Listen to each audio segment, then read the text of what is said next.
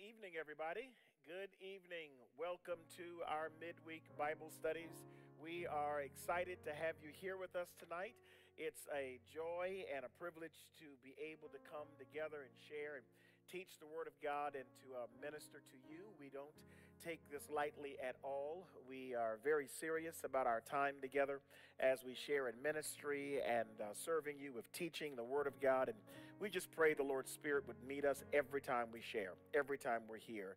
Um, wherever two or three are gathered together in the Lord's name, Jesus says that He will be there in the midst of us. And we are gathered together two or three and gathered around screens, around televisions and uh, tablets and iPhones across the city, around the state, around the country, and even in some parts of the world. And so um, we're just grateful to be here with our family tonight. Uh, we're going to pray and ask the Lord to bless our time together as we spend this time in His Word tonight. Father, I thank you for giving us the Spirit of your grace. And Lord, anointing us, allowing us to be present tonight, to be here, um, and to share in this time of teaching. We pray, God, that your Spirit would meet us here we would have an awareness of your presence. That, Lord, as we're teaching and as we're sharing, that you would arrest our attention, take over this lesson, and speak to the hearts of your people. I thank you, God, that there is no one like you. And Father, we give you praise. And we ask you now that you will send the perfect teaching ministry of the Holy Spirit. Let him abide with us, let him stay with us as your word is taught, and we'll give your name praise. In Jesus' name, amen and amen again. Amen. Amen. Welcome to each of you to our Bible studies. Well, I want to begin by just mentioning to you uh, that your prayers are needed and deeply requested uh, for one of our members. Well, um, the family, uh, this is the Dela Cruz family, and they have moved to Boston, Massachusetts. It's been now a year or so, but um, we just uh, still claim them as our family. They, this is their home, their church home, and they are personal friends of um, Monica, Lady Monica, and myself, my wife and I, and we just love the Dela Cruzes so, so, so much. Well, today, this is a praise report. Today, Dakar Dela Cruz um, underwent surgery uh, for cancer, and uh, the surgery went well, is the report that we're receiving. We don't have any more details than that, but the surgery was very, very well today. And actually, her family developed these t shirts, and so I'm wearing one of those t shirts now. I don't know if you guys are able to get a uh, clear shot of this t shirt, but I am wearing one of the t shirts today, and it's a t shirt that reminds uh, their family and all of her friends across the country to pray for her and to pray for her healing, that God would do a specific and a great work in her life. And she's using the acronym STAB, um, and STAB stands for God will S strengthen us. Um, he strengthens us even in our times of sorrow and weakness. Um, and the T is that God will give us triumph in our uh, torment and in our troubles. And the A in STAB stands for God will anoint us with a special anointing to attack the uh, anguish and the anxiety. And the B stands for God will bless us and give us breakthrough even in our breaking. And so we are believing that God is going to stab every plan of the enemy in the life of Dakar and her family, and that she is going to recover. She is going to be 100% well. This is our faith, this is our confidence and our trust. And I want to join, ask you to join us as a family that we would all please lift up her name and pray for her that God would continue the healing process and that God would continue the recovering process. There is something powerful when the people of God come together in prayer. Guys, there's a power when we come together as a family and we pray. So I'm praying that you will please join us in prayer. And we have other members of our church who are actually going into surgeries this week and going through operations this week and I don't have the uh, liberty and the, um, the permission to give all the names of those who are having surgery, but um, there is a mom and dad, a father and mom that's having their son, their adult son, that's going to be going through surgery tomorrow. And I'm asking if you would please keep them in prayer. There was a prayer uh, call today that was given um, on their behalf, and I'm asking for the church to please remember the Baileys. Remember the Baileys in your prayers, if you would. Please remember the Baileys. We love uh, them so deeply. Please remember them in your prayers. We know that God is a healing God, and He's able to do the impossible. So we thank God for it in advance. We never worry about outcomes. We never worry about what's going to transpire or what's going to happen. We know that our God is an able God and all things are in his hands. We're going to be teaching about that tonight in the book of Revelation, that all things are in the hands of him who sits on the throne. And if he's on the throne, the good news is that everything is going to be all right. Did you hear that? Did you hear that? Everything is going to be all right. All right. Amen. So please remember them. Of course, remember the Latsons in your prayers, uh, Don and Joyce. Remember them in your prayers and in your thoughts as we are praying for Joyce's complete and total recovery and healing. Please keep them in your prayers. And also, if you would, please um, remember the Robertsons in your prayer, Eric and Veronica, Reverend Robertson and Veronica Robertson. Remember them. We love the Latsons, the Robertsons so, so deeply. And we just know that God has great things in store for them and God has a great testimony to give to them. They are both both in great spirits and they're both um, having the Spirit of the Lord just overshadowing their attitude and their uh, disposition as they're going through a extremely, enormously, enormously difficult season a difficult time. So please keep uh, them in prayers, and all those who we may not have mentioned, please remember them uh, in your prayers as well. Amen. Amen. And speaking of t shirts, I need to mention my sister-in-law. Uh, Sister Melissa is who I, is what I call her, um, but uh, she calls me Martin. But anyway, my sister-in-law, um, she gave me a T-shirt. I'm not wearing it tonight, but it's the best T-shirt in the world. And here's what the T-shirt says. It says, "This T-shirt was given to me by my favorite sister-in-law." That's what the T-shirt says. So next week, or the next time we share, I may just wear uh, Sister Melissa's T-shirt. Just want to give a big, big shout out to her. Love you, sis. Love you, sis. All right. Well, let's uh, get into the Word of God. But before we do, I want to make certain that you guys are reminded of a few announcements. Um, one is about our warming station. And we are asking everyone here to please give a donation to the warming station in the form of blankets and uh, linen sheets, in the form of blankets and sheets. Now, we need them to come specifically from Amazon. So we have developed an Amazon wish list, and there should be a, um, a flyer that's on your screen or going to be on your screen. It's for blankets and sheets. We're having a wish list in Amazon just for those blankets and just for those sheets. You'll see a QR code. I want to leave it up for just a moment so you can grab your smartphones, please, grab your tablets, and I want you to scan that QR code. Please take a moment now, scan the QR code, and it will take you directly to the Amazon wish list so that you can send the blankets and sheets that we are specifically requesting.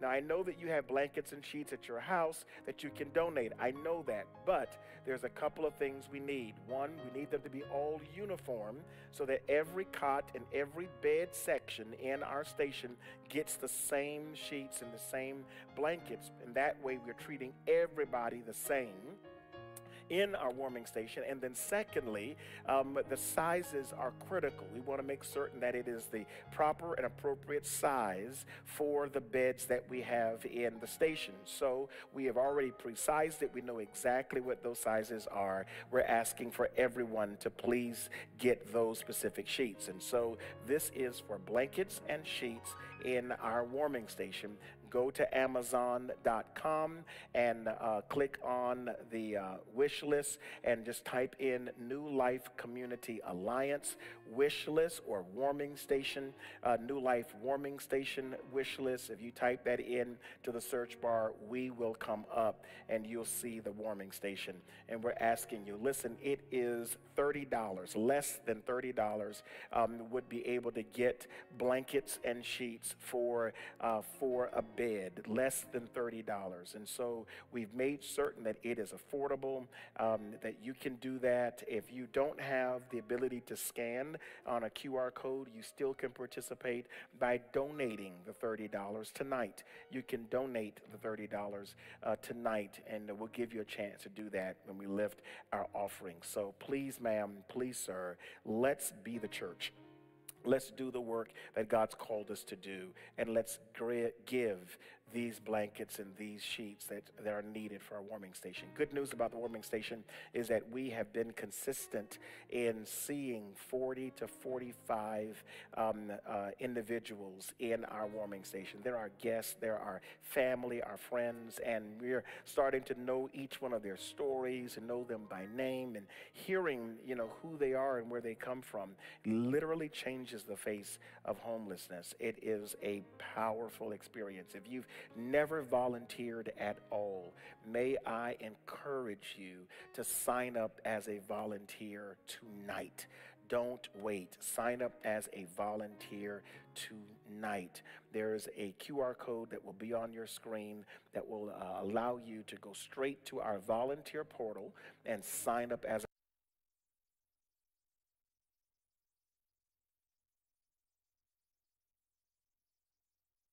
to the website where you can sign up as a volunteer. I'm begging you to please help us in this winter very strong. Many have wondered how what days is the warming center open? 7 days a week. 7 days a week. Our warming center is open 7 days a week regardless of the weather, regardless of the temperature. It's as long as the winter lasts. And so by the end of March, we'll be able to shut down the warming station.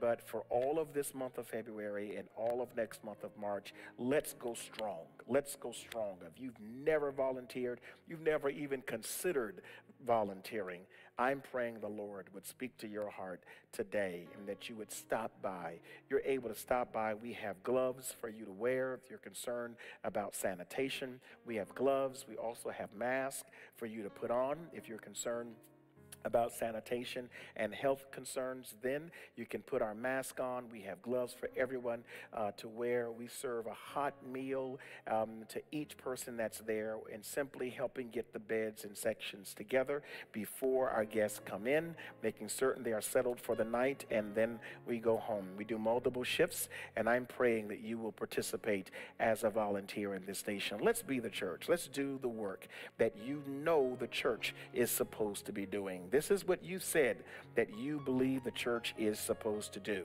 Um, you have said, I have said it, that why are all these churches and none of these churches are doing this? Well, we're doing it. We're doing it, and we believe God's called us to do this, and He is anointing what we are doing in a major, major way. So I just thank and praise God for you. I want to mention as well as we lift our offering tonight, that the Lord has blessed us with a wonderful grant um, uh, that we've received uh, from uh, one of our local foundations here in the city. And um, I'm just overjoyed about having received this. It helps us do the ministry and the work that God's called us to do. And I remember the days when we were praying, the Lord would give us, you know, uh,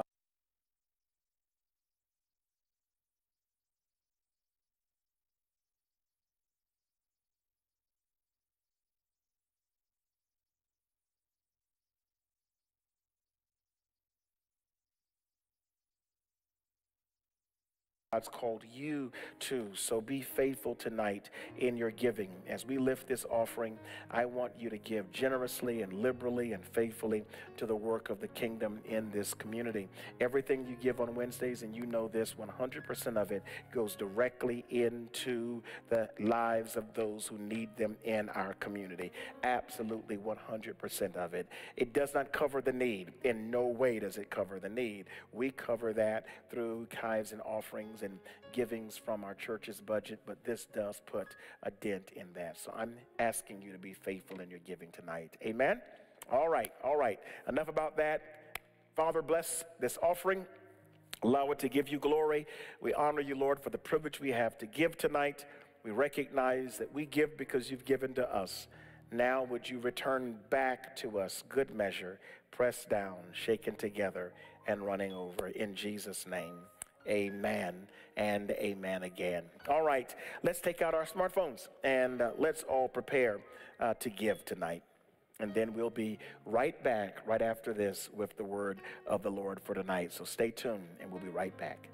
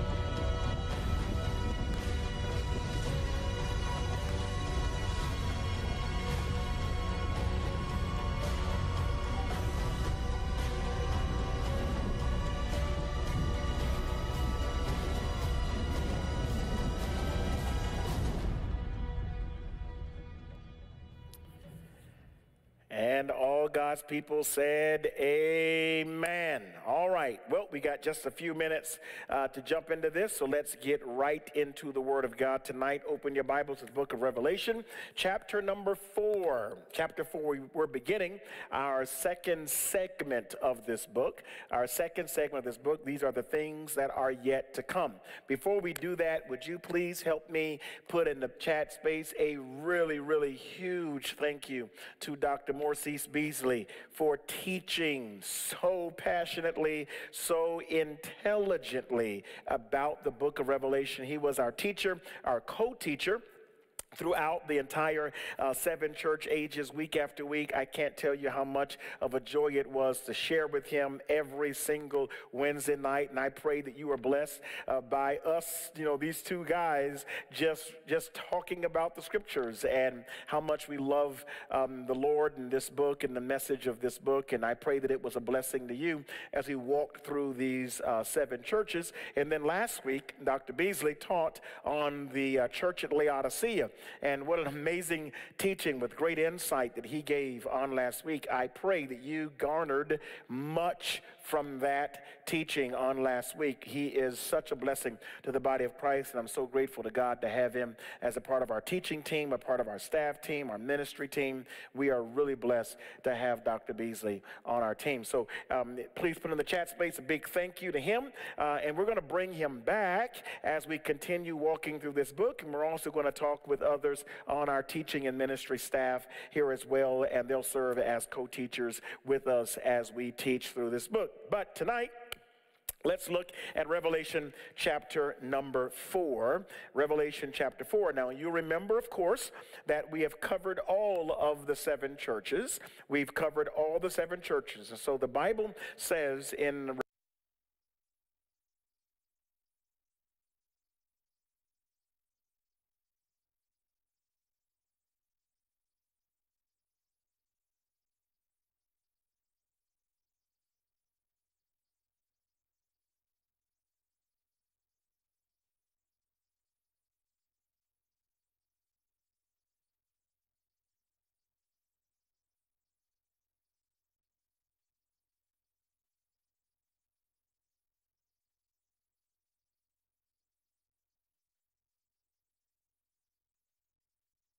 in what is now modern day Turkey, about 100 miles from each other. And all seven of these churches were vibrant and active at the time that John uh, was writing to them. And as John sent these letters, these letters are prophetic in that they not only speak to the conditions of the church and the cities that the churches were in but they also speak to the prophetic condition of the church ages that would persist after and far beyond uh, this time that John is writing, even persist even unto the days and age of our current church age. And so I'm asking that you would um, be certain to uh, remember what was taught. And so we said the first church, of course, is a church at Ephesus, and we studied the letter to the church at Ephesus, the church that lost its first love. You have lost your first love.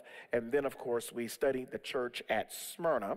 The church at Smyrna is the suffering church. This is the church that had no nothing negative said about it at all. No accusations were made against this church because this was the church that suffered.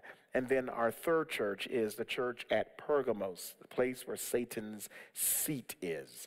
And this is the compromising church, the church that have compromised their faith. It compromised its relationship with God. It blended. That's what uh, Pergamum means. It means to mix or to blend this amalgamation and blending of secular and sacred together. And we studied the dangers of a church that does not have a pure confession of Jesus Christ, but has mingled that confession with world worldly living, worldly lifestyle, and worldly worldly ways. And its companion church is a church at at um, the church at Thyatira. It's the companion church to uh, the church at Pergamos. It is the idolatrous church. It takes what Pergamos has dabbled in and it takes it to another level. As a matter of fact, this church um, is the church where uh, they are suffering the teachings of, um, of, of, of Jezebel and Balaam. You have this doctrinal, improper teaching done in this church. And we see it here in the church at uh, Thyatira. And then there is the church at Sardis, the spiritually dead church. This church is even worse because it is spiritually dead. And as it is spiritually dead, it has a reputation that it is alive, but the church is actually dead. And this cat, this characterizes so many churches in our modern culture today that are, in essence, dead. Not meaning that the worship is dead, I mean the spiritual lives of the people are dead. The ritual dead. The liturgy is dead. The, the, the purity, the holiness, the godly character, dead. But people think it's alive because it's a church and they have on their Sunday go to meeting clothes, but inwardly it is dead. And then, of course, the church at Philadelphia is a church, the second one that had no negatives to be said about this church at all. Nothing negative said about it at all. It is a faithful church. This is the church that, even though persecuted, it was faithful to the call of God, so faithful that he says, I set before you an open door, an open door to spread the gospel for even more ministry, for even more impact, and for even more souls. And there are churches around the world right now that are operating in very hotly contested uh, persecuting environments, but they are faithful to the Lord, even in the midst of great persecution. And so we studied the faithful church of Philadelphia. And then last uh, time together, Dr. Beasley taught about the church at Laodicea. And the church at Laodicea is the lukewarm church. And this church is analogous to our current church age. And we didn't get into the matching of the churches to the age of the church throughout church history um, because I think think it's a difficult match to make one to one in full parallels between history and the church itself. But this one is not difficult to make. It's the last church, and I believe it corresponds to the last church age, the one just before Christ comes back. And it is an apathetic church, lukewarm, no passion, no drive. That this church is a church that is not on fire for God. It doesn't weep when people are lost. It is not engaged in mission. It's not engaged uh, on the mission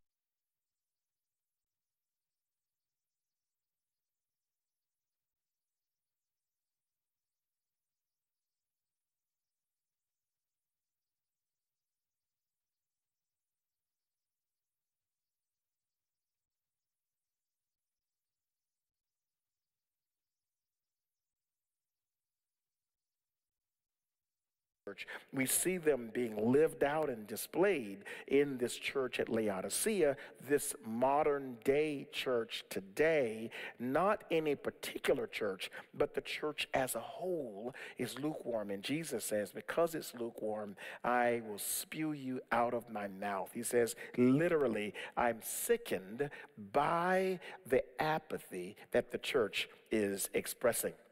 And so, with this close to the age of the church, with this close to the church ages, we enter now into Revelation chapter 4, and your Bible should be open there.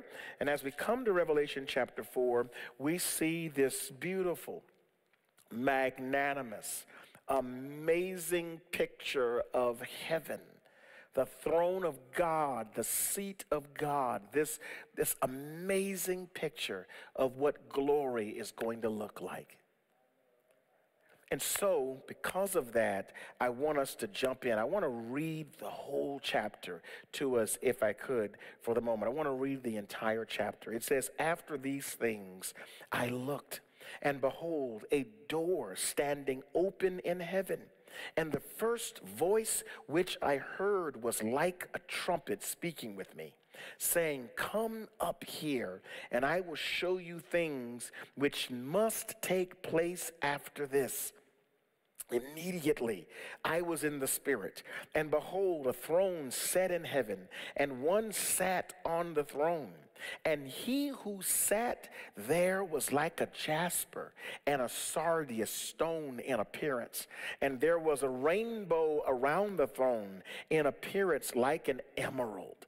Around the throne were 24 thrones, and on the thrones I saw 24 elders sitting, clothed in white robes, and they had crowns of gold on their heads. And from the throne proceeded lightnings, thunderings, and voices.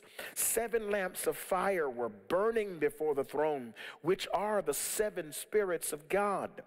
Before the throne, there was a sea of glass, and in the midst of the throne and around the throne were four living creatures full of eyes in front and in back. The first living creature was like a lion.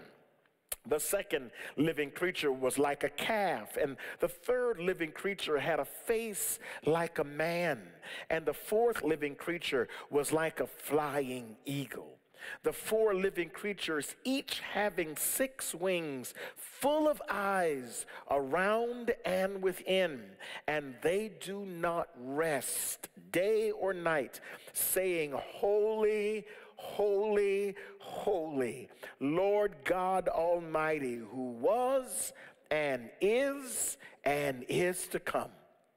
And verse 9 says, Whenever the living creatures give glory and honor and thanks to him who sits on the throne, who lives forever and ever.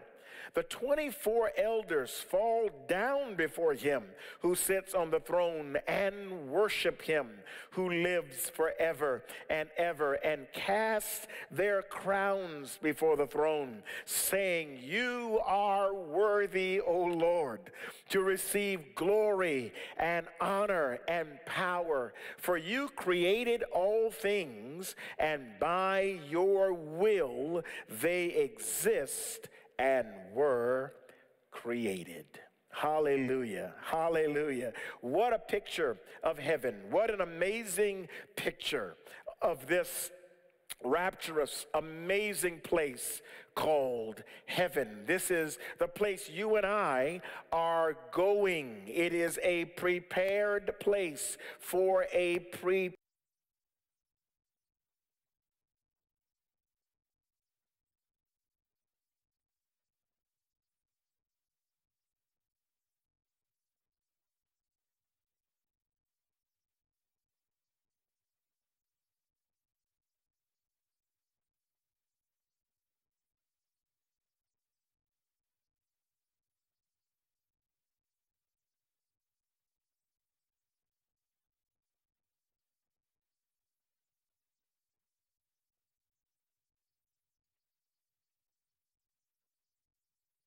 Ezekiel saw in Ezekiel chapter 1.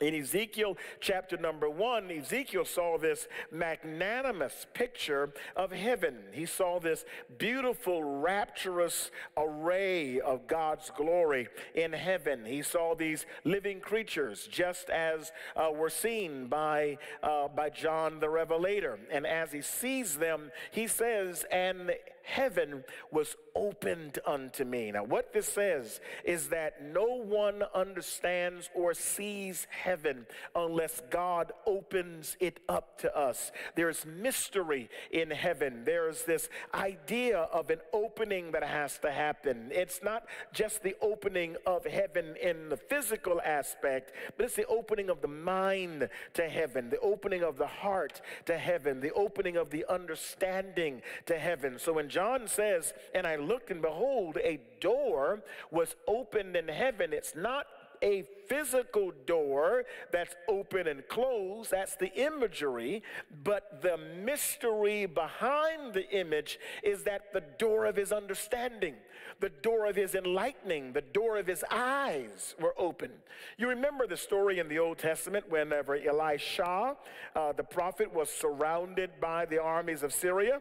Um, he was surrounded by this armies of Syria that were coming uh, because of King uh, Ben Hadad's um, edict to arrest Elijah and bring him before the Syrian court. And as Elisha comes out of his house and he sees these armies and chariots uh, that are all surrounding him, his servant servant Gehazi is standing with him and he is he's scared, he's frightening, and he says, Alas, master, what shall we do? Look, we're surrounded. And, and Elijah says, Oh Lord, open his eyes so that he can see. And when Elisha prayed that prayer that God would open his servant's eyes, you remember what happened, and that is Gehazi immediately had his eyes opened, and he saw on the mountains around uh, Elijah's home the chariots of fire, the army of the Lord, angels all around. He saw it because his eyes were opened his eyes were open. This is exactly what happens here in this uh, fourth chapter to John. It's what happened to Ezekiel when he saw his vision. His eyes were open and it, it peeled back, if you will, it peeled back this door to see the glories of heaven. And so it says there was a door opened in heaven. Now, not only is it open in heaven for him to see it and his understanding to understand it, but it's for his heart to receive it, to be filled with it. That heaven is not for those who are not passionate about it. I got to make this very clear. The Bible says that he's coming back for all those who love his appearing.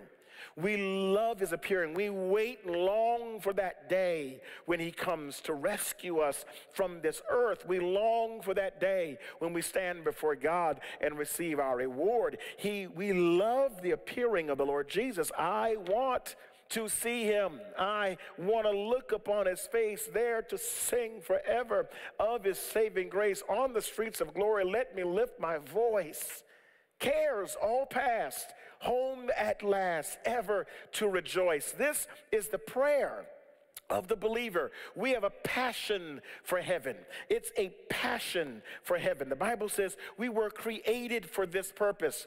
We were created for heaven. I want you to see this in Ecclesiastes chapter number 3.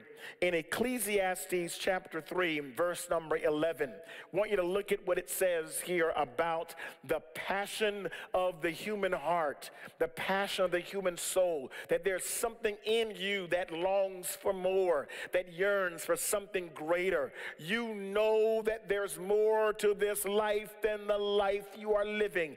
God deposited in you and me this longing for glory. And it says in verse 11, He has made everything beautiful in its time. That's mean, that means that everything God has made serves a beautiful purpose. Not it's a beautiful rose or a beautiful plant or a beautiful landscape, a beautiful mountain, beautiful waterfall. Not just that kind of beauty, but it's a purposeful beauty that it serves its purpose in its time. It's a beautiful thing when a plan comes together, right? It's a beautiful thing when God's purposes come together. It's a beautiful thing when things happen as God has designed them to happen, when everything takes place as God has ordered and ordained it to be. That's a beautiful thing. And He has made everything beautiful in its time. Everything follows the purpose of God, everything operates by the purposes of God. He made it all beautiful. Sin marred it, sin stained it, sin has, destruct, has a destructive power on it, but He made it beautiful. And it says, also, he has put eternity in their hearts. He has put eternity in their hearts. Do you see this? That God put eternity, the fathomless reaches of eternity, God has wired it in the heart, the passion, the desire of every human being. That you and I are longing for it. This is why you want meaning out of your life. This is why you question what does my life mean? What is my life about? Why am I here? Because you get this nagging sense that you are on the earth.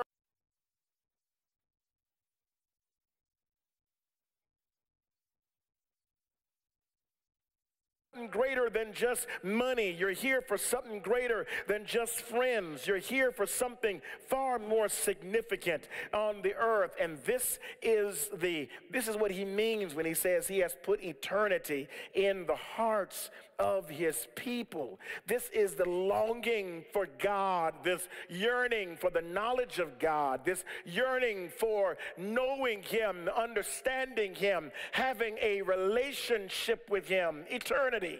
Eternity. Eternity is not a time. Eternity is not, you know, forever and ever and ever and ever and ever, and it never ends. Yes, it is in a normal understanding. But eternity means much more than that. Eternity is the domain of God. Eternity is the dwelling place of God. It is where the perfect quality of the knowledge of God is felt, seen, and known. That's eternity.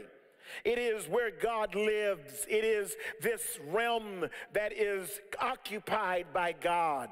And it says He put the desire for that he put the passion for that. He put a longing for that in every human being's heart. In the atheist's heart, in the agnostic's heart, in the hardened criminal's heart, in the believer's heart, in the sinner's heart, everyone has this desire that says, Why am I here? Why do I exist? What is my life about? It's the knowledge you and I have that there's something greater.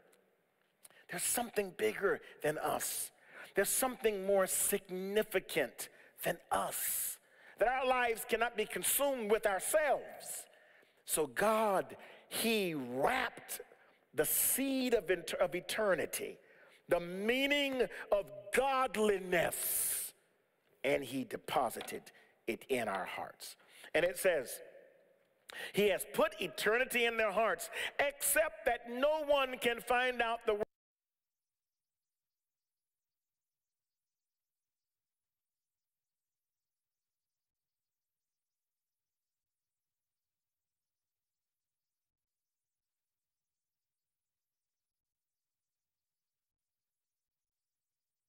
fully understand eternity. Eternity is so vast. There's no way you could fully grasp its full meaning. You cannot, you can't put your hands and wrap your mind around the full reaches of God's glory. And so it says, no one can figure out his work. You can't even determine and figure out the ways that nature works. We don't even know what makes the heart beat. We don't have a clue as to how electricity got in the body. We know it keeps the heart beating with a defibrillator, electrical current, but we don't know how it got there. We know we can explain life, but we cannot tell you how life works. No science, no medicine, no medical doctor can explain to you why the heart beats, why the embryo in the womb soon has a heartbeat that beats. We cannot explain why the cells multiply. We can tell you how it multiplies. We can tell you through what process it goes through to multiply. We cannot tell you why.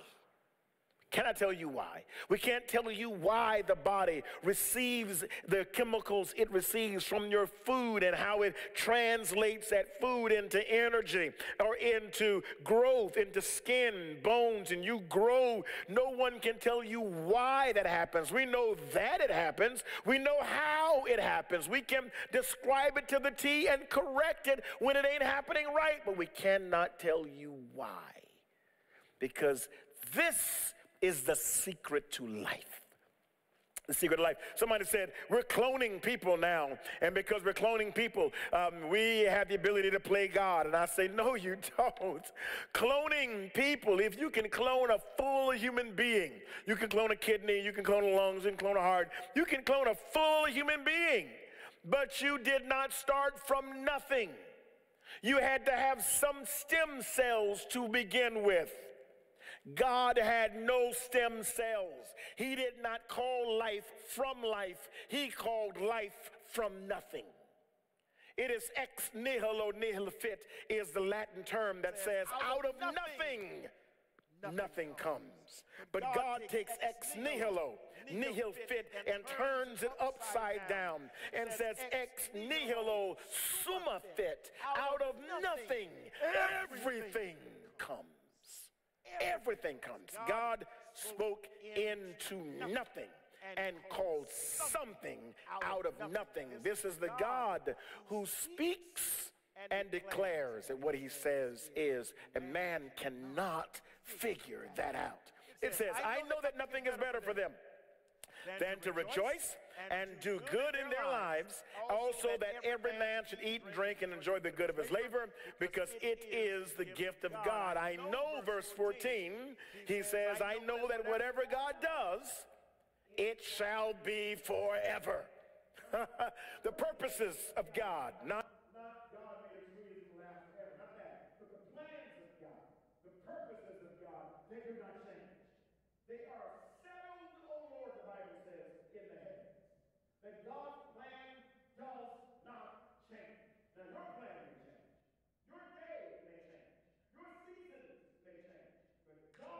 plan does not change. Nothing can be added to it. Look at what it says. Nothing can be added to it and nothing taken from it. God does it that men should fear before him. God does it that men should stand in awe of him that God has established the boundaries of the earth. God has determined the days of our lives and existence. God has determined our destiny and preordained our steps. God has determined who we are and where our lives will end and how our lives will be lived. He has done it from eternity, and no man can figure out the works that he does. And God, God does this, the Bible says, so that every man would stand before him in awe. In awe. Now listen carefully. What I just described is understood in a finite capacity by finite minds and by finite men. And I'm trying to describe it with my limited finite language. But when you stand before God, you will have a perfect being, a perfect body, and a perfect understanding. You will no longer be finite. You will no longer be limited. You will no longer have the limitations that we have today, and we will understand Him with a mind and a heart that is without limitation. Hallelujah. And you think you're in awe of Him now, and you understand that much of God. We understand a thimble full of God. Imagine how much awe you will have of Him when you understand the ocean's depth of God. that you stand before him and all. That's what happens in Revelation. John has a door opened unto him, and in a moment, his mind is blown. And John understands something that he could never have understood unless God opened up that door. Remember the Apostle Paul in 2 Corinthians chapter 12? We don't have time to go there. I want to go over this very quickly. Are you with me so far? You listening? All right. In 2 Corinthians chapter, chapter number 12, it is Paul says, I knew such a one who was caught up in verse 1. He says, to the third heavens. He says, I was caught up, raptured to the third heavens. He says, and I heard visions and revelations that are not lawful for me to speak. He says, whether I was in the body or out of the body, I cannot tell. I don't know if I was in the body or out of the body. All I know is that for that moment in time, I was raptured from myself and I heard visions and revelations and of God. It says, and it was so amazing, so masterful, so powerful that I couldn't even come repeat it. I couldn't even explain it. Not lawful for me to speak. No one would understand it. This is what John saw in heaven. And this is what every single one of us will experience the moment we get there when the door opens in heaven. All right, all right, all right. You were made for this. Bible says in 1 Corinthians chapter 15, verse number 19. 1 Corinthians chapter 15, verse 19. Scripture says, If in this life only we have hope in Christ, we are of all men most miserable. If this is all we get, this is a miserable condition to be in. I mean, this is it. all I get is 80 years or 90 years of struggle and pain and and that's all I get. All I get is a few years with my children and then I have to go through their their uh, them leaving and going off to college and being married and my grandkids are here and then I have to experience a time when I've got to leave them to to die and go to heaven. I mean, this is it. This is all I get, just a few bills to pay and a job to go to and a clock to clock in and clock out. This is it. It says, if in this life we only have hope in Christ, we are of all men most miserable. Most miserable. Paul says, Hallelujah, thanks be to God, in this 15th chapter of 1 Corinthians, where he speaks about the resurrection of the dead.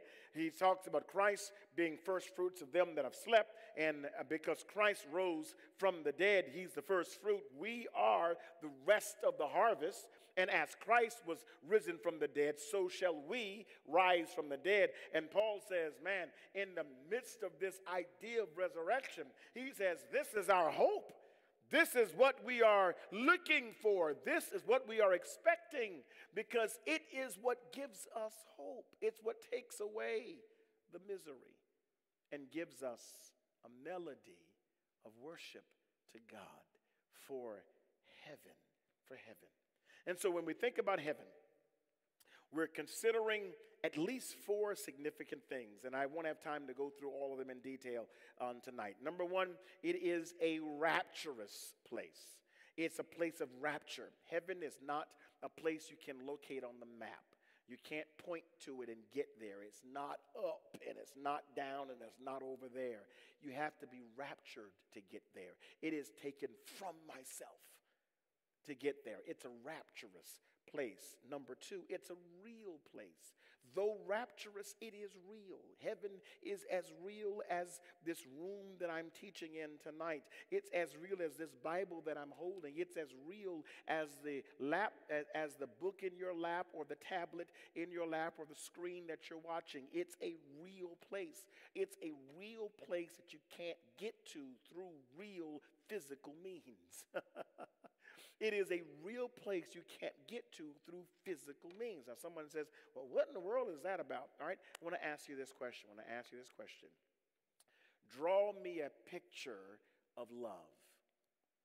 Draw, how does it look? Draw me a picture of love. I want you to paint it for me. Draw me a picture. Oh, okay, okay, okay.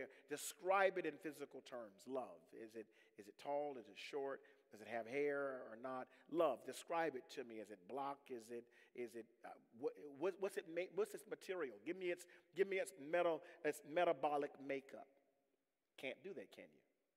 Because love is not a physical thing. But it's a real thing. It ain't physical, but it is real. Are you getting that idea? Right? Now, draw me a picture of joy. Can't, can't, can't do it. I mean, I mean, is it, is it tall? Is it short? Joy. You, you can't, because it's not a physical thing, but it's a real thing. And love and joy are as real as my fingers and toes. They're just real in a different dimension. They're real in a different understanding. They're real in a different realm, right? They're real in my soul. They're real in my psyche.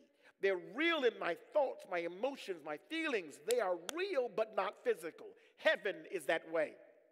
It's real, it's not physical. It's real, it's not physical. Jesus says, I go to prepare a place for you, a real place for you. And he says, and, and, and if it were not so, my Father's house are many mansions. If it were not so, I would have told you it wasn't so. He says, I'm going to prepare that place for you. It's a real place. Heaven is not just a rapturous place, not just a real place, it's a royal place. It's a place of royalty. There's thrones there, there's authority there, there's immaculate wealth there, there's power there. It's royalty that is there. It is a place of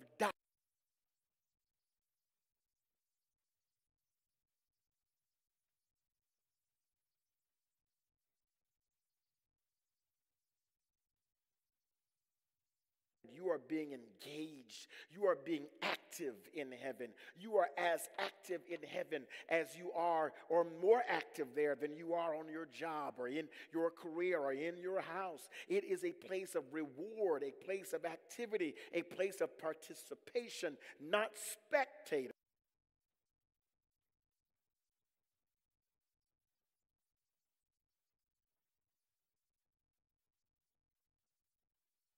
in heaven and the first voice which I heard was as it were of a trumpet talking with me, which said, Come up here, and I will show thee things which must be hereafter. He says, I heard a voice talking to me. Now, this voice, some have said, is the voice of Jesus talking to John. No, it's not the voice of Jesus because when Jesus' voice speaks, the Bible describes his voice as a thunder that his voice is thunder. We see this in uh, verse 1 and, in chapter number 1. His voice is thunderous. We see this throughout the Revelation, right? When God speaks, it is thunder and lightning. This is a trumpet a trumpet is a call to arms, a call to war. It is a summoning, it's a summoning uh, instrument to summon people to an assembly, to call them together. It is a instrument of praise. It's a trumpet. It's a trumpet. Listen carefully. As a trumpet, it is an angel that calls him. Now, the angel is going to stand and blow the trumpet. This is the angel who declares that time shall be no more in Revelation 14. Declares time shall end, Revelation 7. That whenever this happens, the trumpet will declare this. The angel will declare at the last trump. It's an announcement that's made.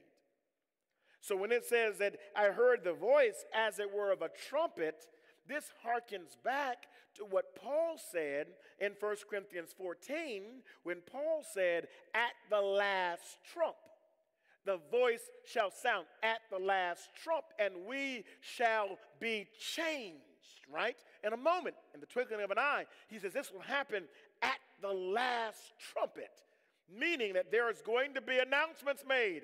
Announcements made. Right now, I'm making an announcement. I am a trumpet for God. I am his trumpet. I am calling you to salvation. I'm calling you to repentance. I'm calling you to Jesus Christ. I am one of the trumpets. And you're going to hear a message on Sunday, another trumpet. You're going to hear someone speaking the word on the ride to work tomorrow, another trumpet. You're going to turn on the TV or the radio and listen to a television or radio minister, another trumpet. You're going to read a book that's written by someone who wrote it about God, and that's another trumpet. There will be a last trumpet, a final trumpet, a closing trumpet, an ending trumpet. And at that trumpet, he will tell us, Come up here. Come up here. This is the call of the rapture. This is the call of the church being gathered together unto God. Now, if you notice from chapter 4 all the way until we see the New Jerusalem, until we see the return of Christ again, you hear nothing more about the church. Everything is about the earth, the land, the plagues, the, the tribulation, the anguish, the death. You hear no more about the church because the church is gone. It's raptured. It's caught up to meet the Lord in the air. Hallelujah. Now, I want to ask you a question Are you ready? Are you ready? Are you ready for Him? Are you ready to meet Him? Because the call is coming. The call is coming. It says he will call us to meet him in the air. Anabahode. Anabahode is Greek for come up here. Come up here. And that is the call that God's going to give whenever time shall stop.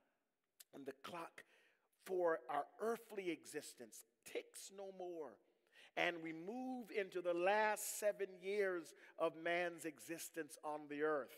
And God will rescue the church from the throes and from the hands and clutches of human life and this mundane earth, this flesh. You will hear that trumpet call, and that trumpet call, Anna, Anna, behold, come up here.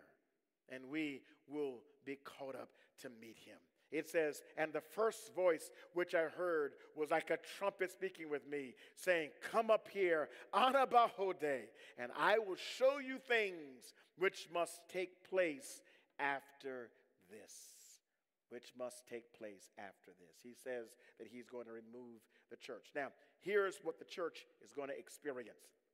It's in 1 Thessalonians chapter 4. I'm going to read through this very quickly because I want to make certain that we have time tonight to walk through. It says, For this we say, 1 Thessalonians 4 and verse 15. For this we say to you by the word of the Lord, that we who are alive and remain until the coming of the Lord will by no means precede those who are asleep. It says, when he comes back, to capture and, and to gather his saints, we will not precede those who are asleep. It says, For the Lord himself will descend from heaven with a shout, the voice of the archangel. Remember, I said there's an angel? With the trumpet of God, and the dead in Christ will rise first. What, what an amazing moment. I need to, you to capture the moment. Please capture the moment. Here you have, you're doing your daily duties. You're going about your day. You're at work, you're at home, wherever you are. You're in the gym, you, you're, you're out in the field, you are at a restaurant, you're at the movies, wherever you are, you're going about your day. And the trumpet sounds, Anabahode, and you hear the voice of God calling you. And when you hear that trumpet sound, everything stops. Your life stops. And you see the bodies of those who have been buried in Christ, those who have died in Christ. It says they will rise first. And they will come from the ground. They will come from cemeteries. They will come from graveyards. They will come from the sea, from the ocean, from the mountains. They will rise first. And somehow, through the amazing miracle of resurrection, I don't know how it happens. I can't describe how it happens. But just as Jesus was raised from the dead, so shall we who die in Christ be raised from the dead. We are sown in the ground a mortal body, but we are raised from the ground an immortal body. We're sown in corruption but raised in incorruption. I don't understand how that happens. I can't explain it to you. That the decay and the rigor mortis and the decay of death that has set in to every person who has ever passed away. I mean, the worms will eat our body and destroy our flesh, but I don't know how it happens but somehow that which goes in the ground in corruption comes out of the ground incorruptible, as the Lord's body did, as Jesus' body has done. And it rises first. Now, here's what I want you to hear. Here's what I want you to capture. Please understand this. If this were not so, why are we living? Why are we living? If you die, to be in the ground forever. What is the reward for life? What's the purpose of life? Good has no reward, and evil has no punishment. There's no reward for living a good life, and there's no punishment for living an evil life if there is no resurrection from the dead, if the dead do not rise, if there is no life after death. Then why do you anything right or good or moral? Why? Why not live it up? Why not eat, drink, and be merry for tomorrow we die? Why do you care about the hurting? Why do you have compassion for those who are, who are in need? Why do you do good deeds for family and good deeds for friend? Why do mothers care for their children? Why do you have a broken heart when you see a child being injured or harmed or hurt? If there is no reward for any good whatsoever at all, and if there is no reward for good, then there is no punishment for evil. I mean, you could live as wicked and as ugly and as ill of a life as you possibly can and get away with it. I mean, look at the people who live wicked lives, wicked lives, and successful and wealthy and rich and powerful. Many of them are politicians or celebrities or living it high on the hog and they're cheating and lying and harming and maiming and hurting people and there's no no punishment for evil whatsoever because there's no life after death. And when you die you're dead. Que sera sera whatever will be will be. And if that is how you see life paul says we are of all men most miserable. But thanks be unto God. there is a reward for the faithful. Thanks be unto God. There is a resurrection for the dead. Thanks be unto God. There is a life after this life. He says, and the dead in Christ will rise first. Verse 17. Then we who are alive and remain shall be caught up together with them in the clouds to meet the Lord in the air, and thus we shall always be with the Lord. We who are alive and remain shall be with them and meet the Lord in the air, caught up with them in the clouds, and so shall we ever be with the Lord. What an amazing day! What a great day when our loved ones will crack through the grounds or crack through the seas. And whenever their bodies, I don't know how, I don't know how, don't ask me how, but it was risen incorruptible, incorruptible. And we will see this. We'll see mom, dad, we'll see this. We'll see this. We'll see cousin, auntie, friend, neighbor, will see this.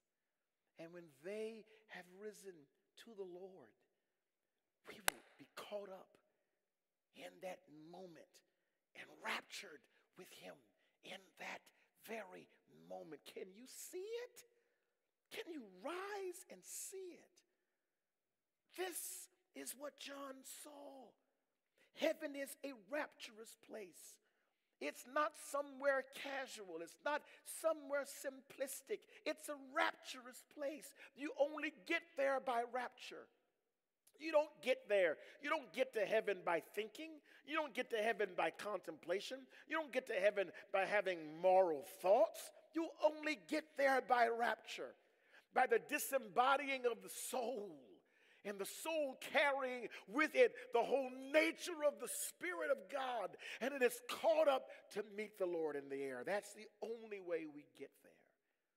It's a rapturous place, it's a real place, it's a royal place, it's a rewarding place. Let's say it together. It's a rapturous place, it's a real place, it's a royal place, it's a rewarding place a place called heaven.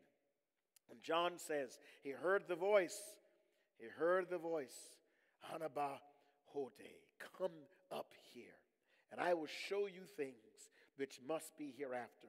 And he says in verse 2, and immediately I was in the Spirit, and behold, a throne was set in heaven, and one sat on the throne.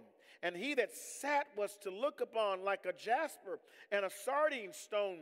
And there was a rainbow around about the throne, like unto an emerald.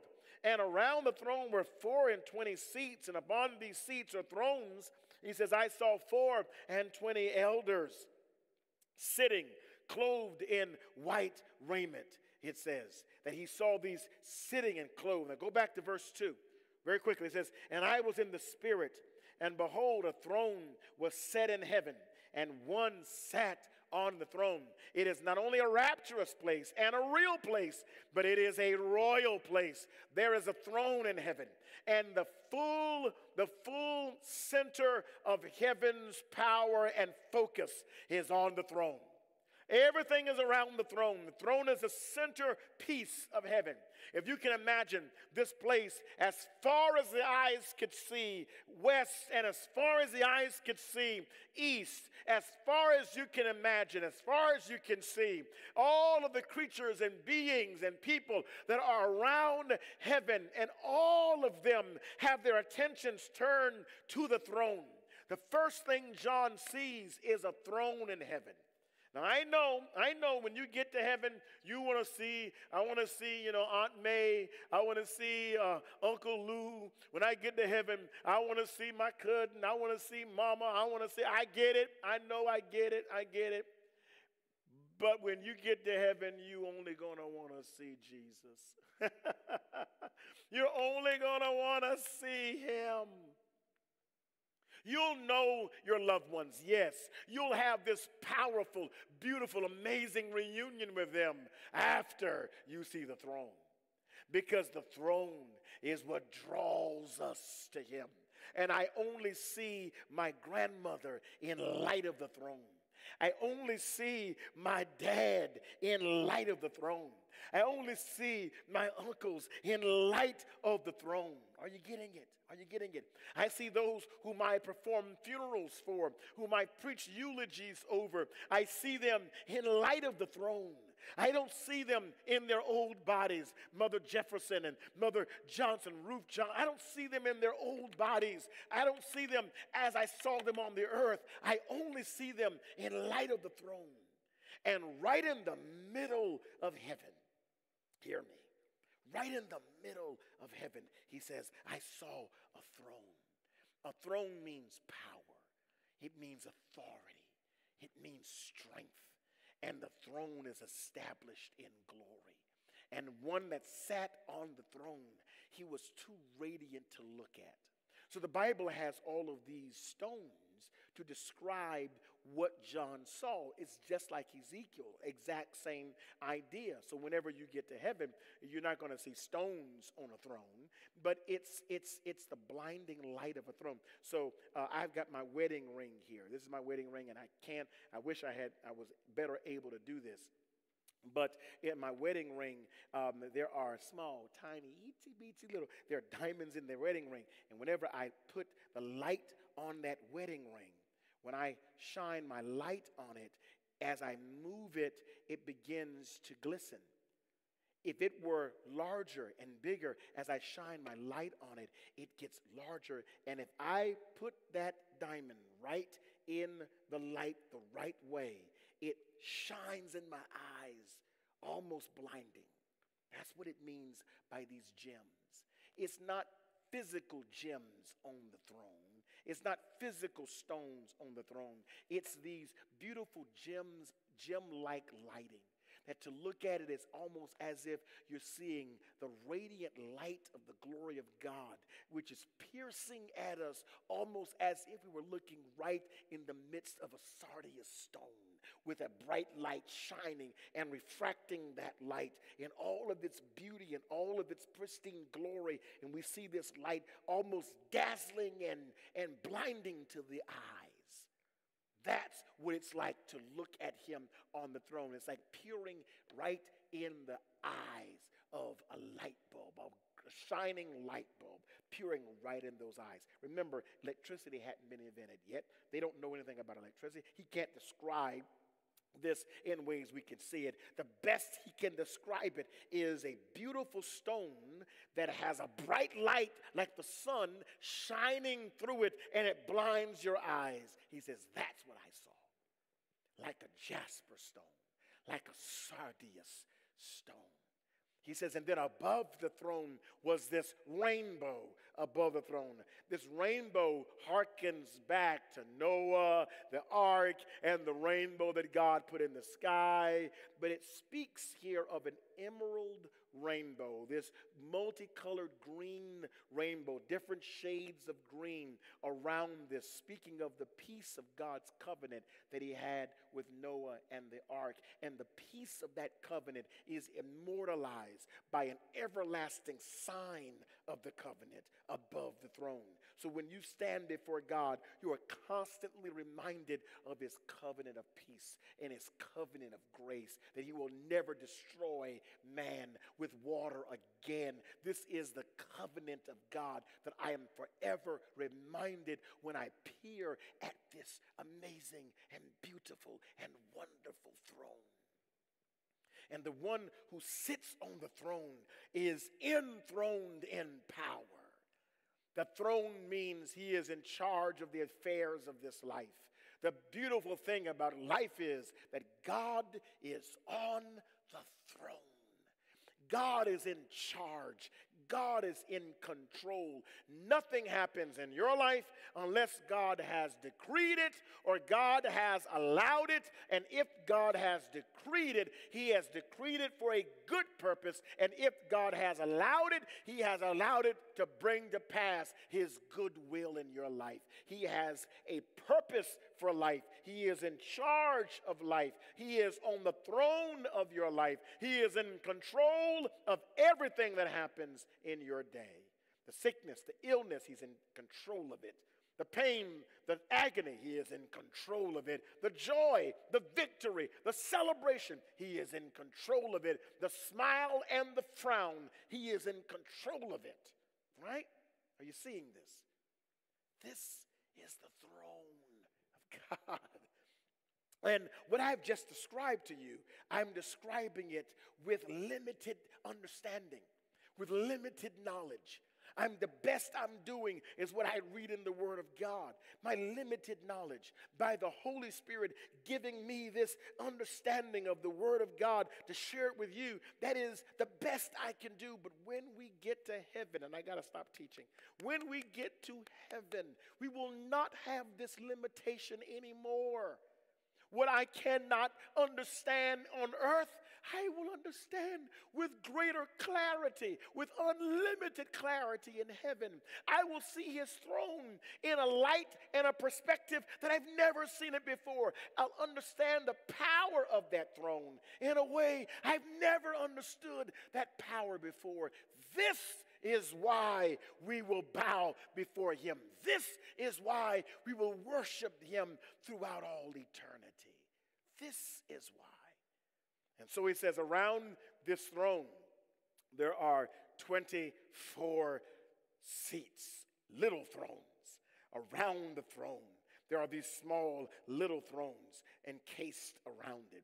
24 is a representative number, it's representing Old Covenant and New Covenant, two halves of the church the Old Testament church Abraham, uh, Isaac, Jacob, David, uh, Moses that's the Old Covenant, represented by the 12 tribes of Israel. These are God's chosen people. Then the new covenant, represented by the 12 apostles. This is Peter, James, John, Bartholomew, Matthew, but 12 apostles. This is the 24. We see this also later in the book of Revelation. It's a representative number of the collective being of the church.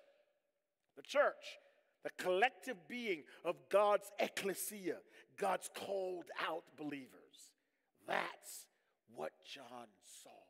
He saw the church. He saw me and he saw you encapsulated by these elders who represent them. That's what John saw. I got to stop teaching. I'm so sorry. Our time is up. But I pray that you are hearing this tonight. I pray that it is connecting and you are capturing the word of the Lord tonight. You were made for heaven. You were made for heaven. You were not made for the earth. You were not made to live your life just on this earth. God created you so that you would experience Him in fullness. You're stuck. I'm stuck in a human body for 80 years, 90 years, I don't know, 150 for my, in my case. And I'm going to do good while I'm here. And I'm going to make the most of my purpose while I'm here. And I'm going to win souls to Christ while I'm here. But this world is not my home. This is not the end of my journey. I have a new home over in glory. And it's mine, mine, all mine. Father, in Jesus' name, I thank you, God, for heaven.